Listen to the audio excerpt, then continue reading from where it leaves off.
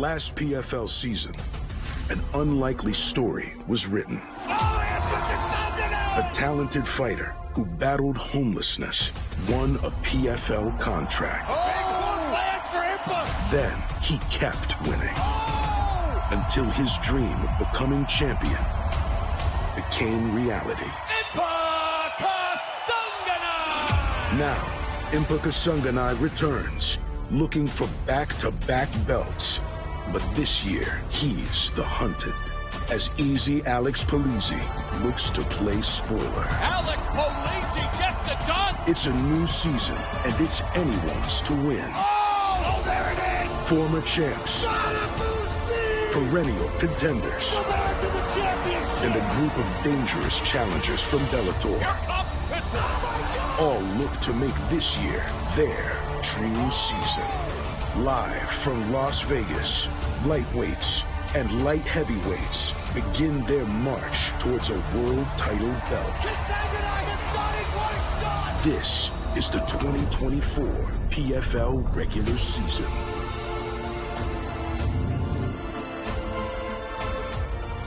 Welcome, fight fans, to the weigh-ins. The PFL regular season continues in Las Vegas, Nevada. 155 and 205. It's the lightweights and light heavyweights starting their season. Impa Kasanganay, Alex Polizzi in a main event. Rob Wilkinson, Tom Breeze in your co-main. A card littered with champions, former champions, and hungry contenders. Sean O'Connell and Randy Couture, very happy to be here. A little bit of a home game for you, Randy. Yeah, absolutely. Good to be in my own bed. So, the toughest test in mixed martial arts got a lot tougher this year because of the acquisition by the PFL of Bellator, but especially in these two weight classes. Absolutely. Four returning champs in one time or another in the light heavyweight division, and a guy from 170 moving up for a title as well at 205.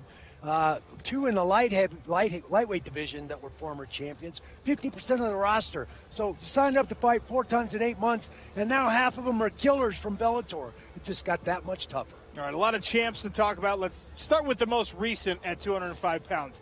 Impa Kasanganay fighting Alex Polizzi in the main event tomorrow. Last season, Impa Kasanganay started on the Challenger Series and he finished as a champion. And Randy, he's already fought once this year. Yeah, he fought in the Champions versus Champions in Riyadh, Saudi Arabia. Amazing fight with the undefeated Johnny Eblen. A lot of people thought he won that fight. Amazing striking, amazing conditioning, very, very well-rounded fighter. This guy brings it all, and he is on fire and ready to go tomorrow night. Look forward to seeing him face off in the smart cage once again. His opponent, Alex Polizzi, comes in with real D1 wrestling credentials. Some people think that could be the kryptonite for someone with explosive hands like Impa. Yeah, Alex Easy he trains with us at Extreme Couture. We know him well. Wrestled at Northwestern University, great Division One program there. Says fighting is going to help him pay off those student loans. Very, very well-rounded fighter, great athleticism. He brings it all in the cage, and he's going to be facing a very tough opponent in Impa Kasanganay. Going to be a great fight tomorrow night in the smart cage for sure with these two. And he recognizes the opportunity, right? Last year's champion, he's coming in relatively unsung. So Alex Polizzi is in the position now that Impa Kasanganay was in last, last season. season. Absolutely right. One of the great storylines on this card. Let's talk about the co-main event as well. Two seasons ago, Rob Wilkinson looked absolutely unstoppable on his way to a 205 pound championship. And you know, early in his career, he was considered to be more of a grappler, but it's been the hands, the striking that really gotten it done lately. Yeah, 2022, he had four finishes, two in the first round, two in the second round. He looked unstoppable, knocking guys out left and right. Here it is against Akhmedov to win the championship and put himself that strap around his belt. This Australian is a very, very well-rounded fighter and looking to make his mark and show he deserved that championship. Well, his opponent in the co-main event tomorrow is a guy named Tom Breeze, who's got a big old chip on his shoulder. Tom Breeze feels like he's been relatively overlooked, even though he's got incredibly high-level experience. He's a bonus winner three times in the UFC, KSW veteran. This guy has the entire skill set at his disposal. Very, very well-rounded fighter. Physicality, athleticism, everything you want to see in a guy that's going to try and make his mark against Rob Wilkinson, a former champ. So those are your main event and your co-main event. Let's take a look at the whole card, the whole main card that's going to be on ESPN2 tomorrow night. And of course, we'll be simulcasting on ESPN Plus as well. Kasanganay, former champion. Wilkinson, former champion. Antonio Carlos Jr., also a former champion. Sadibou Sy taking on Josh Silveira, last year's runner-up. He's coming all the way up from welterweight. Sadibou Sy at one point was walking around well, not walking around, but he was cutting all the way down to 170 pounds. Now he's healthy. He's ready to go. He's ready to test out his third weight class here in the PFL because he started at 185 and you can see the odds there. Clay Collard is a favorite over Patricky Pitbull, a former Bellator lightweight champion, Mads Burnell and Mikhail Dufour both making PFL regular season debuts. That is going to be a stellar main card. Part of the broadcast team tonight and tomorrow, Brett Okamoto, insider. He's got more on this incredible card and especially one great matchup. Yeah, you already talked about it there. Sadibou Sy moving up two weight classes, Sean. I mean, we know that Sadibou Sy is must-watch TV, but he will be doing so at a new home against a finalist in last year's uh, light heavyweight tournament, Josh Silveira. Let's take a look at a closer look at this fight. The Swedish dead Oh my goodness! Wheel kick knockout nasty. Josh Silveira cut his teeth against some of the best fighters in the world. There's that knee. Oh, Oh, another one. oh! Josh Silveira to the championship. Austin always hurt, and he's down, and he's done.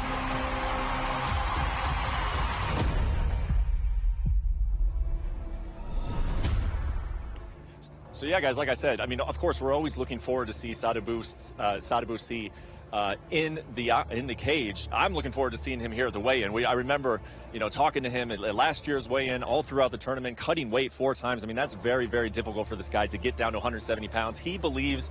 He's like, my opponent's power never bothered me at 170, never bothered me at 185. It won't bother me here. I'm going to be very quick. Like you mentioned, Sean, four former champions here in this light heavyweight division in 2024. The only way this test could get any more difficult is if the man I'm going to throw it back to, Sean, was still Roman, this 205 pound weight class. Yes, thank you, Brett. That's it. You know, five historically in, in PFL's history, we have five light heavyweight champions. Four of them are in the building tomorrow. Three still competing, and one is just calling the fights. But you know, the, the the gang's all here, so to speak. Let's take a look at the early card here. No, you know what? I'll get to that eventually. I want to. I want to talk about the season format. Sadibou Sy is moving up, so he doesn't have to do four weight cuts. Because if things go well, you have to fight four times before Thanksgiving. Ten fighters in each weight classes, six different weight classes, two regular season fights for each fighter. You get three points for wins, bonus points for finishing any round. The top four fighters will make the playoffs, and then a million dollar championship in every division. And we have six different million dollar belts to hand out at the end of the year. It is the toughest test in MMA. Here's that early card I promised you. We'll start with the showcase bout Marcelo Nunes and Jordan Heiderman at heavyweight and then right into the league action. Elvin Espinoza, regular season debut. Adam Piccolotti came over from Bellator. Gaji Rabadanov, Solomon Renfro, two guys who have unbelievable skill sets, are flying a little under the radar right now, and you can see that fight is almost a pickup. Bruno Miranda is actually a big time favorite over a former Bellator champion in Brent Primus.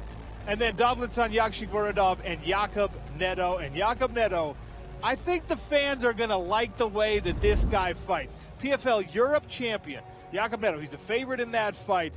And he showed up out of nowhere. Represents Slovenia. Not exactly a hotbed of mixed martial arts right now, but this guy came from the Olympic handball background. An incredible athlete, Randy, and big time power. Absolutely. Great physique, athleticism that he brings to the smart cage, every, and, and we're excited to see him coming from PFL Europe, our new feeder program, moving into the global and see how he does on the global level. He's fighting another guy from Turkmenistan, the only, the one and only from Turkmenistan. Uh, Just call him. We're just going to call him it easy. yeah, Dublet. Brings a strong sambo background. 21 victories this guy has. 12 of those are knockouts. So very, very sharp striking and accurate hands. A very well-rounded fighter, a lot of horsepower in Dublet. This guy is going to be interesting to see unfold, and he's also an actor, doing some action films in a Game of Thrones type series in Turkey. Yeah, he showed us some of the footage. Guy's got sword fighting skills. Yeah. And, and he could beat you up with his bare hands. I mean, pretty scary all around.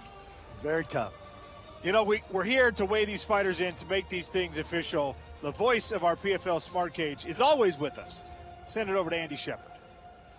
Thank you, Sean. Yes, Las Vegas is truly the fight capital of the world this weekend, and the PFL are kicking things off tomorrow night right here at the theater at Virgin Hotels Las Vegas as our regular season continues. All we've got to do now is weigh in the fighters. And to help us do that, let's welcome our president of fighter operations, Ray Sefo.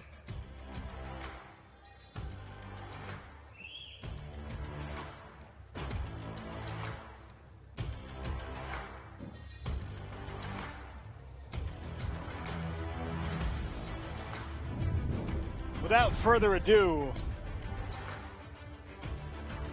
heavyweight bout to showcase things. Marcelo Nunes, Jordan Hyder.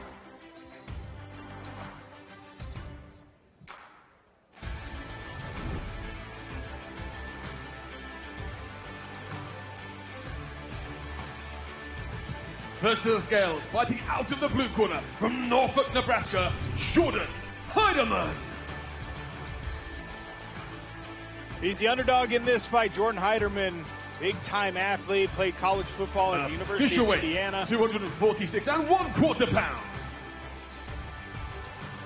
Goes by the nickname Thor, and you can see why just by looking at him. And Yeah, in the red corner, Very fitting. fighting out of Sao Paulo, Brazil, Marcelo Nunes. Nunes, a Brazilian black belt. No stranger to the smart cage. Has fought several times in the regular season for the PFL. Very formidable on the ground.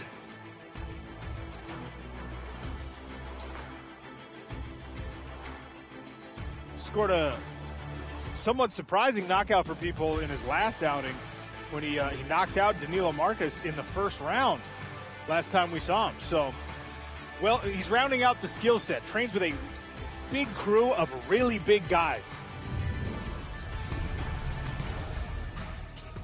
Up next, lightweight action. This is regular season, so points and a spot in the playoffs eventually.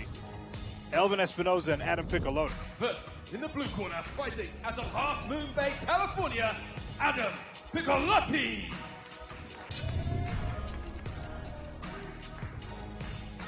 Piccolotti is the favorite in this fight. Bellator veteran, seven submissions and 14 pro wins. Official weight 155 and a half.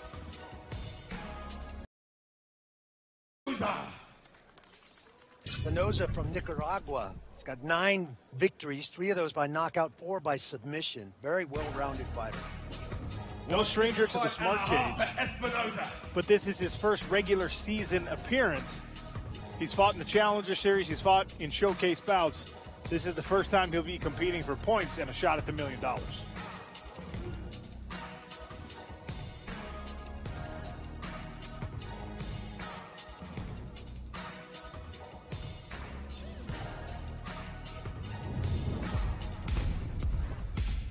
Up next, another lightweight tilt. Gaji Rabadanov and Solomon Renfro.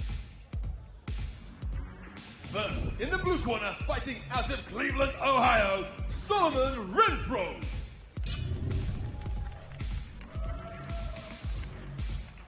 the Black Dragon Solomon Renfro. A lot of people think that this guy is just scratching the surface of his potential. He's only 27 years old. 155 and a half for Renfro.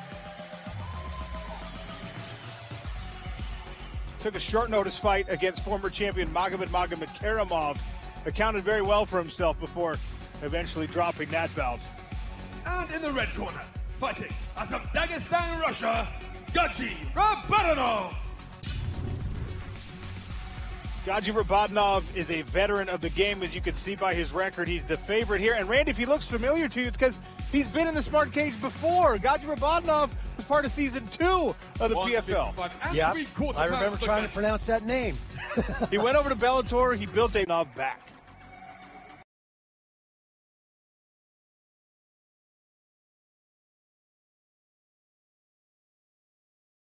conversation. Ooh, a little push.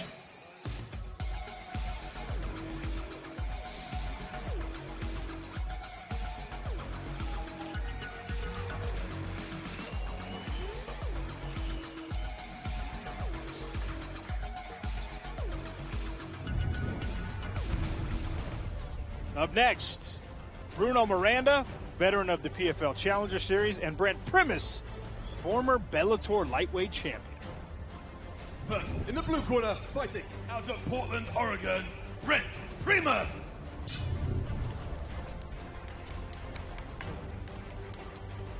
Six submissions to his credit. This fight, almost a pick 'em. He is the very, very slight favorite in this Official one. 155 and three quarter pounds. Tell you what, Primus looks like a completely different person standing on the scale now than he did this morning at the official weigh-in. He cuts a lot. Yeah, he's he's big for this weight class. He's got impressive wins over Michael Chandler and Benson Henderson. And in the red corner, fighting out of Rio de Janeiro, Brazil, Bruno Miranda. Bruno Miranda came into last season red hot, made it all the way to the playoffs before running into the two-time champion Olivier weight Messier. 155 and one half pounds. That's his only loss in last in his last eight. Bruno Miranda, a sleeper pick for a lot of folks in this lightweight division.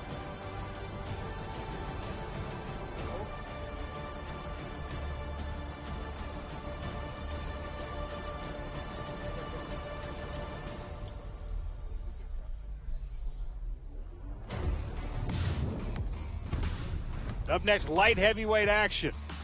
Dovletyan Yachik and Jakub Neto. First, in the blue corner, fighting out of Ljubljana, Slovenia, Jakov Neto. 27-year-old Jakub Neto is the favorite in this fight. Eight and one as a pro. Weight 206 pounds. Big time power coming off a second round knockout that won him the PFL Europe Championship, $100,000 prize, and more importantly, an invitation to the global season where he can now chase a In the red million. fighting out of Ashgabat, Turkmenistan, Yagshimuradov. There's Dovlet, 12 knockouts in 21 victories. He is the slight underdog here in this fight. Came over from Bellator, ready to prove himself in this format. Excited about the prospect of fighting so often. 205 and three quarter pounds. Academic background in law and economics. Just like most fighters, Randy.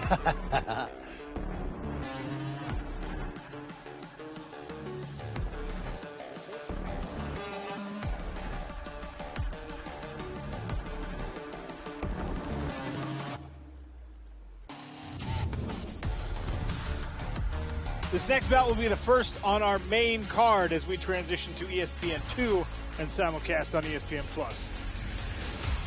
A former 205 pound champion, Antonio Carlos Jr. In the and blue Simone. Bion. Fighting out of Genova, Italy, Simon Bion. The tallest light heavyweight on the roster this year at six feet five inches tall. Playing Seven- basketball in Italy. Amazing story. 205 and Transition from basketball into mixed martial arts. Won the European Championship. Get the nod into the global season this year.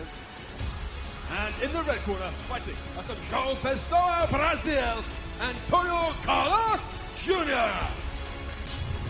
Well, Shoeface is considered one of the best grappling specialists in the sport of mixed martial arts. Very, very high level black belt, 2021 PFL light heavyweight champ.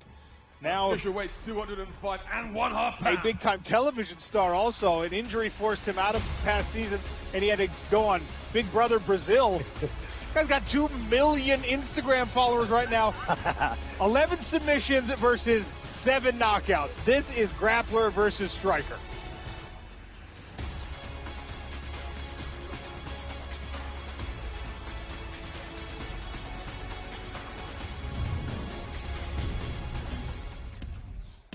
Up next, more light heavyweight action in the regular season. Sadibou Sy and Josh Silveira. First, in the blue corner, fighting out of Coconut Creek, Florida, Josh Silveira. Last year's runner-up, Randy. Yeah, last year's runner-up. Father Conan Silveira, legend in the sport, wrestled at Arizona State, brings a strong wrestling pedigree, and has grown up in the gym doing jiu-jitsu. This guy's seen it and been, been there and done it all, and just coming into his own. And in the red corner, fighting out of Stockholm, Sweden, Sadibou Sy. The first two PFL seasons, Sadibou Sy was a middleweight.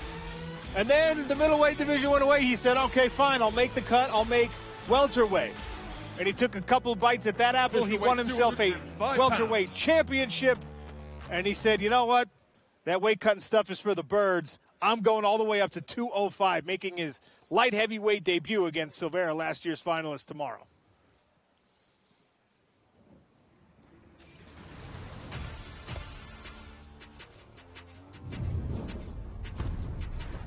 From there, we move to some lightweight action. Mads Burnell and Mikhail Dufault. First in the blue corner, fighting at the Montreal, Quebec, Canada, Mikhail Dufault. Mikhail well, Dufault, sorry, Randy, nine submission victories, and probably most importantly, this guy is the next Canadian gangster. This is OAM light. 55 and three quarter pounds.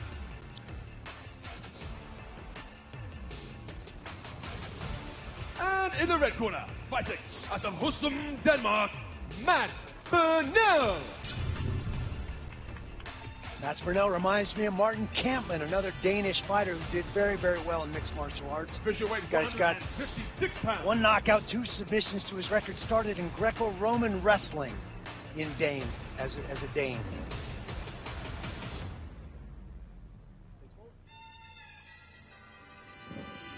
I don't know about that Jimmy trains at though, Randy. Extreme Couture for Mads Burnell, for those who don't know. Never heard of that place. I I can't wait for this one. Cassius Clay Collard, Patricky Pitbull. In the blue corner, fighting out of Natal, Rio Grande do Norte, Brazil, Patricky Pitbull. One of the famous Pitbull brothers, obviously. He finds himself an underdog here, but 17 career knockouts. He is the Bellator knockout king. He also, at one time, had the Bellator lightweight strap. This guy comes in with serious credentials. His brother Patricio is still in the title championship in Bellator. Put that on the line coming up, or actually just did in, in Ireland. And in the red corner, fighting out of Burley, Idaho, Clay Collard. Cassius Clay Collard. Favorite here. And you can see also the striking credentials 11 knockouts, some of the best body work you're going to find in the sport of mixed martial arts during the pandemic. Did a little moonlighting as a professional boxer. Fan favorite for obvious reasons.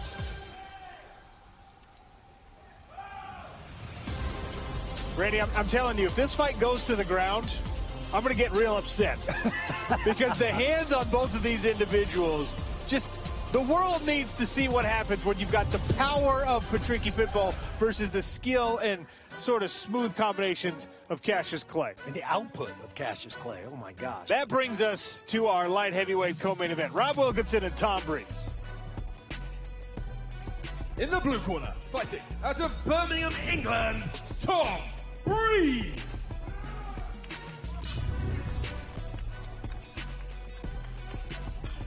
Tom Breeze, don't let the bulk of those victories by submission fool you. This guy loves to stand and trade. Former middleweight who is really bulked up. You can see a lot of muscle here on Tom Breeze. And in the red corner, fighting out of Hobart, Tasmania, Rob Wilkinson. 2022 champion in the light heavyweight division. Had four stoppages on his way to that championship, two in the first round, two in the second round. Lets his hands go, but he has a lot of submissions on his record too. Very, very well rounded. Most of the time, Rob Wilkinson is the bigger light heavyweight, the taller light heavyweight. Not the case here. You can see Tom Breeze looking at my eye, maybe even a little bit taller. Does that change the dynamic in this fight?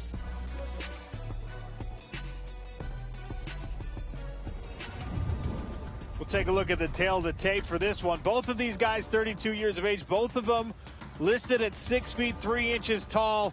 But you can see a reach advantage, pretty significant one on the arms belonging to Rob Wilkinson, and both with very long legs at 45 inches.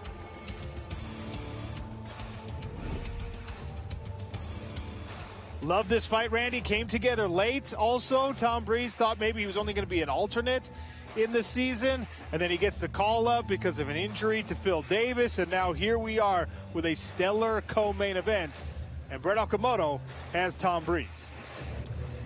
Yeah, thank you, Sean and uh, Tom. A lot of uh, intensity up there with the with the uh, stare down with Rob. Just can you talk about just how excited you are to get this opportunity? Know that you're in this tournament, you're four fights potentially away from a million dollars. That's it. I just can't wait to get stuck in now, to be honest. So yeah, I just want to get in there. Rob Wilkinson has not lost a fight so far in the PFL Smart Cage. What do you think you bring to the table that's going to change that? I think I'm a higher level opponent, and I think stylistically I'm a tough tough fight for him. So yeah. yeah you look ready to go, man. Can't wait to see you tomorrow. Best of luck. John. Thank you, Brett. Thank you, Tom. So that is the one side, right? Now, Rob Wilkinson Brett just said it. He has yet to taste defeat in this smart cage. He's been tested a little bit, but yeah. does he get a loss for the first time in the smart cage? Tomorrow? I guess we're going to find out tomorrow. I, I, it's going to be a great fight. I think these guys are going to step in there and let him go. Rob Wilkinson is with Brett Okamoto. Thank you, Sean. Well, Rob, a year off, how excited are you to just stare another man down and know that you're 24 hours away from a fight? Uh, super excited to be back, for sure. Yeah. And you coming into last year, you just had so much momentum going for you, man. All these quick finishes, and then the year off. Do you still feel like you're carrying all that momentum, or do you feel like a, a new person coming into the 2024 season? Uh, I think after this uh, tomorrow night, when I get a knockout, I'll have all that momentum back and just keep cruising through the year. Welcome back, Rob. Looking forward to it. Thank you, Sean. All right, that means we've only got to get one more fight on the scale, and that, of course, is our main event between Impa Kasanganay and Easy Alex Polizzi. First, in the blue corner, fighting out of Beloit, Wisconsin, Alex Polizzi.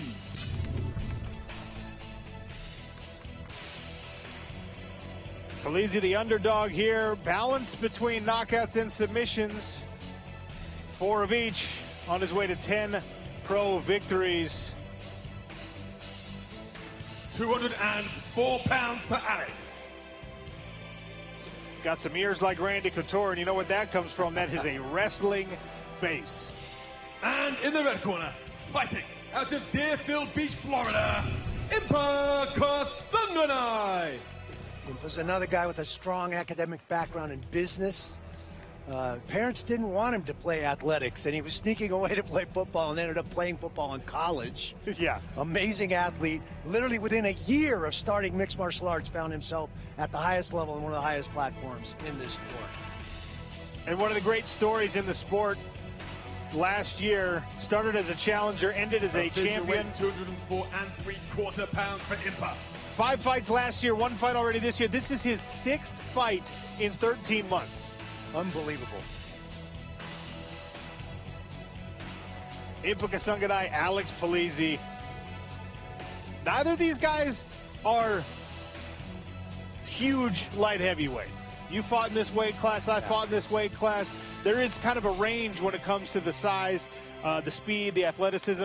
Both of these guys, as we take a look at the tail of the tape, you're going to see are probably relying a little bit more on the speed end of that spectrum.